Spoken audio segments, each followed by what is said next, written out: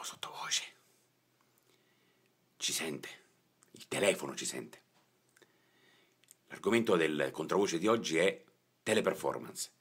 Teleperformance è un'azienda francese, forse non tutti lo sanno, specializzata nei call center in tutto il mondo. In Italia impiega nella sola sede di Taranto qualcosa come 3.000 persone.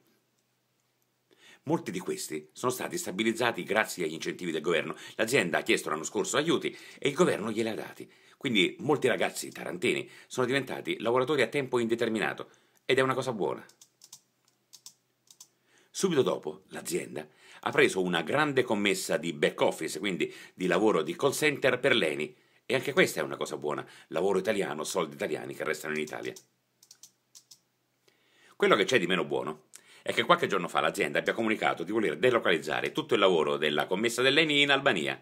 Se ne vanno all'estero. Hanno preso i soldi per gli incentivi, hanno preso i soldi per la commessa di un uh, lavoro italiano e lo portano all'estero, in Albania, perché in Albania il lavoro costa meno. Chi controlla? Chi fa in modo che i contributi italiani vadano a aziende che restano in Italia? Chi fa in modo che i soldi degli italiani vadano ad aziende che investono in Italia?